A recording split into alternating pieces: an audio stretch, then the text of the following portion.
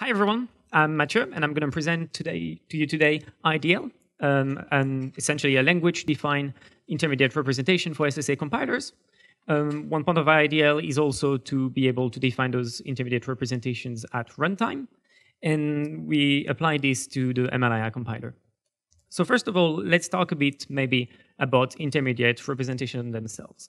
So if you look at like kind of old compilers, you start from your input language, so C or C++, and you compile it with a black box to, let's say, x86.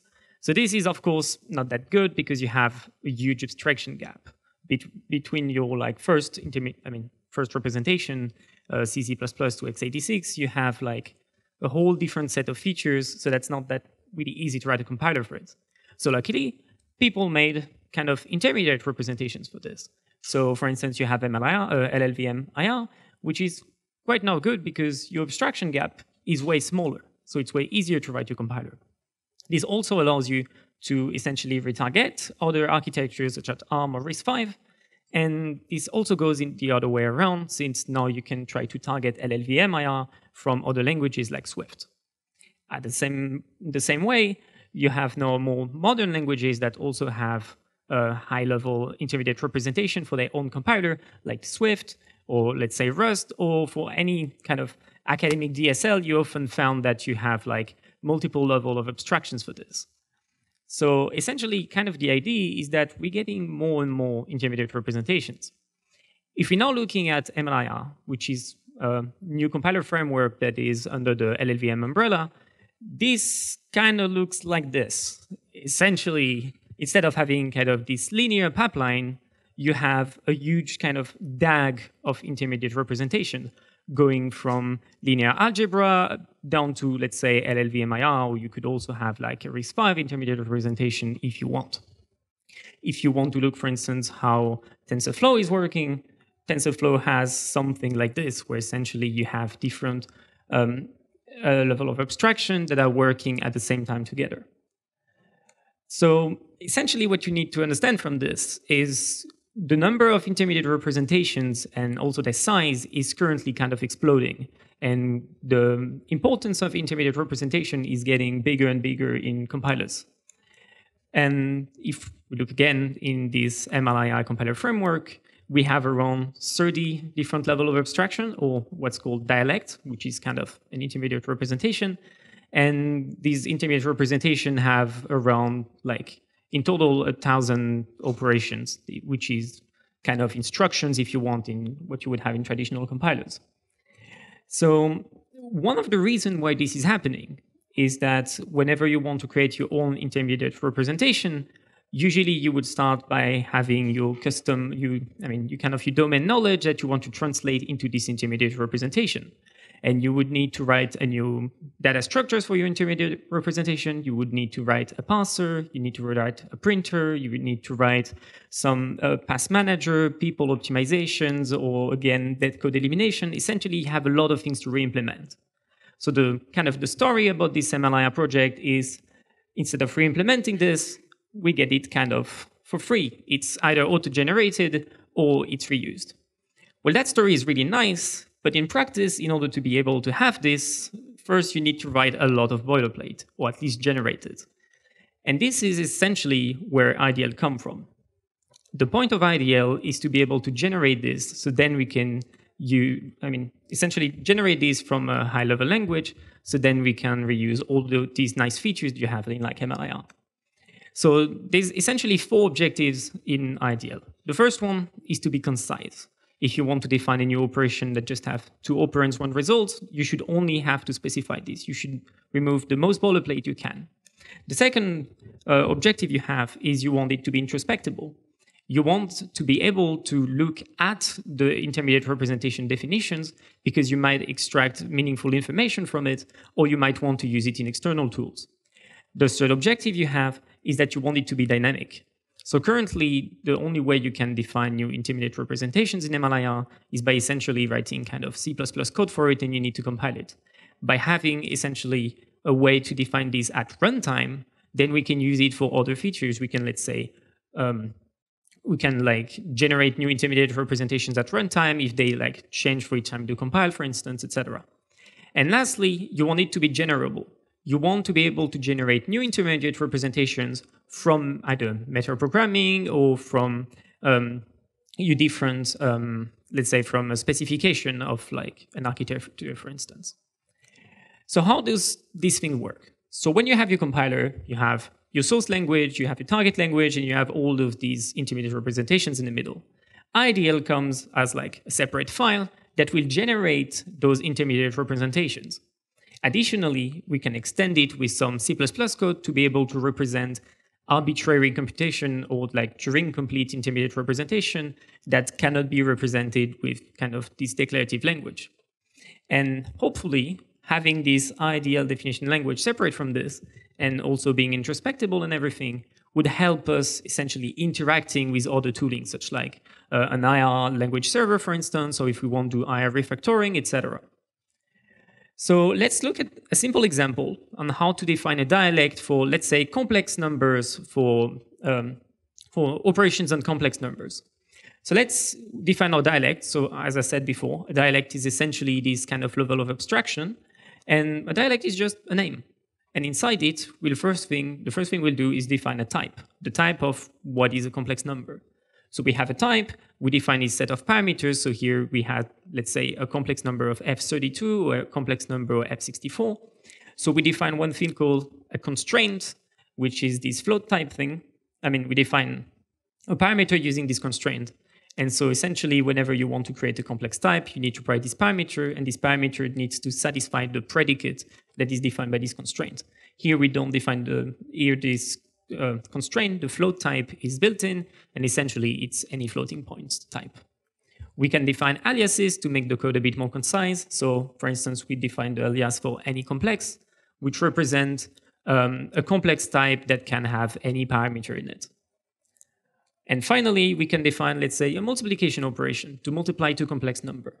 So this one is a bit more complex. We define essentially two operands, LHS and RHS, which are both for type T, which I'll go a bit later. And then we define a result, rest, that also has this type T. This type T comes from what's called a constraint variable, which essentially says, oh, T needs to be in any complex, and also all of the uses of T needs to be equal. So essentially, if you multiply two, com two complex of F32, they should give you a result a complex 32. Same if you had a complex F64, it should be F64. And you cannot, like, let's say, combine those. You cannot have multiplication between a complex F32 to a, to a complex of F64. Additionally, what you have is you have an assembly format or a way to print it and pass it in a nice way. And here we can define a custom one that has, let's say, oh, whenever you print it, first print the left-hand side, then print the right-hand side, then print the complex type, and essentially print just the parameter of the complex type because you know that everything needs to be a complex type. And that's it. You have a dialect for your complex number uh, representation. So as I said, we have um, we have those constraints and we describe them in the paper. But essentially, what you need to know is that there's only a few of them. And even there's only a few of them, we can represent most, most of the MLIR um, intermediate representations with it. So now what we can do with this. So what I presented is essentially how to generate or how to like represent intermediate representation with a high level language. But the fact that it's introspectable makes it also, I mean, makes other use cases that may be pretty interesting. So nowadays we have multiple essentially tools that lives uh, in essentially in a siloed way. So you have like compilers, you have SMT solvers, you have verification tools. But whenever to make two interact between each others, let's say if you want to add an SMT solver to prove some facts about your compiler, usually what you have to do is to use a C++ interface that is not really used, I mean, it's not really easy to use. And also since now, um, or intermediate representation in special, I mean, especially in MLIR, gets updated often and change a lot, well, the C++ interface might break a lot. So what I propose is that with this IRDL, we can essentially use this to provide an interface between the compiler and any of these tools. By essentially having this declarative format that is easily introspectable, we can use this to interact with other tooling. So we provide one example in our paper, which is essentially we translate the MLIR dialects into our ideal representation. And then we use an automatic um, tool to just give some analysis on the dialects we currently have. So we have the results essentially in our paper, but the results are mostly how many operands are used, how many, what kind of constraints are used to represent operation and types, etc.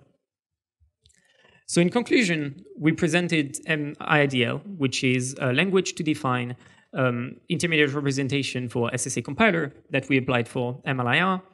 We showed that this IRDL can also be used to essentially provide a bridge between um, our compilers and other tooling, and we applied it to provide some um, nice statistics on the usage and I mean on the usage of uh, constraints, etc., on the definitions in the MLIR of the MLIR dialects.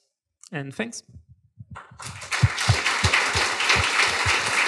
Uh, you started with a slide with lots of examples of IRs in LLVM. Yeah. So uh, have you gone and sort of systematically re-implemented all of those and then gone to the authors of the original IR and said, hey, this is cleaner and you're going to get all this additional functionality? And what kind of response did you get? So that's a really nice question. So first of all, we wanted to work with the community from the ground up. So essentially, we work with the community to kind of design this thing. So they already have what's called uh, ODS and TableGen, and we work with them to build kind of a better language for it, something that is a bit less hacky, I would say.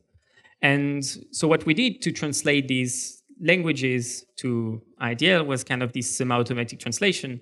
But we I made recently again a presentation for the MLIR uh, Open Developers Meeting to talk about this and then like to try to see if we can put them in uh, MLIR for this to get it a bit more adopted.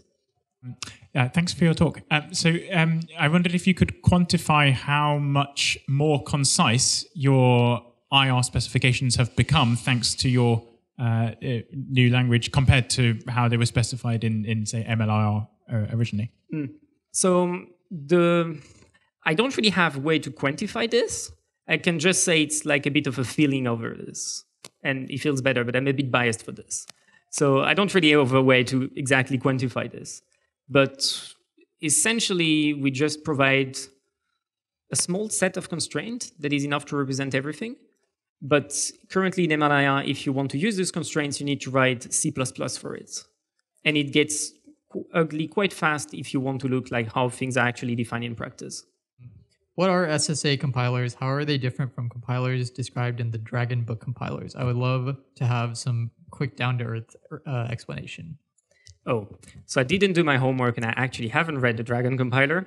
But essentially, SSA compilers are essentially compilers when you have operation and operation defined variables, and a variable cannot be assigned twice. That's kind of the main idea. So what we presented here was applied for SSA compilers, but we could also use this for like, um, let's say, um, a sea of nodes compilers, for instance. But they kind of differ to how you would, of some academics would define compilers using tree-based uh, structures. So it, it looks like with that framework, I can very easily define the syntax of my language and the operations. Um, but then to write a compiler or to do analysis or verification or anything, I also care a lot about the semantics of these operations.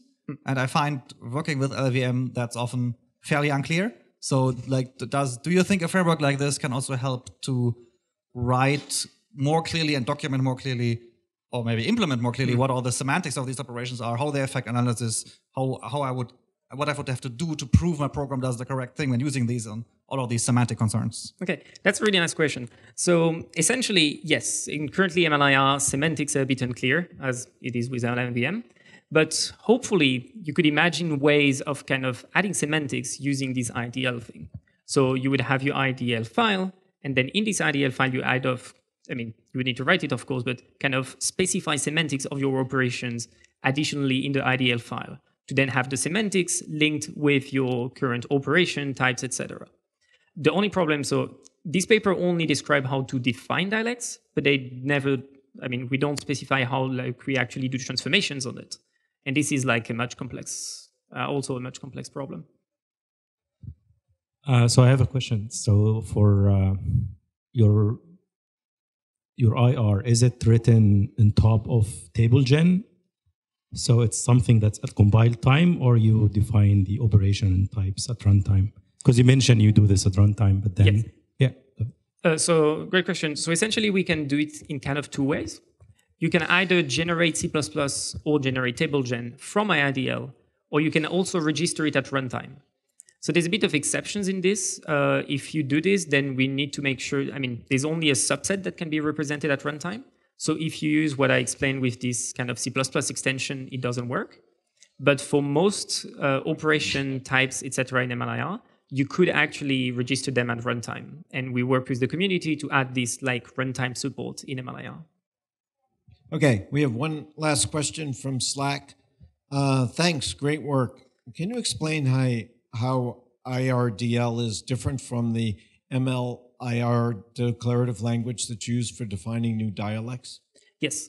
So essentially, so just a bit of context. So MLIR currently has a way of generating the C++ as well, but using, uh, let's say, much less um, kind of formal language, uh, which is called like TableGen. And essentially, the way we differ from it is that we identified um, what kind of constructs are actually used in practice with this ODS language, and then we extract it to like a proper language that we can then use. So ODS is essentially generating C++. I mean, is a way of writing uh, kind of macros to generate C++, when in all case we have a language that we can then like compile down to like C++. Yeah. Thanks a lot.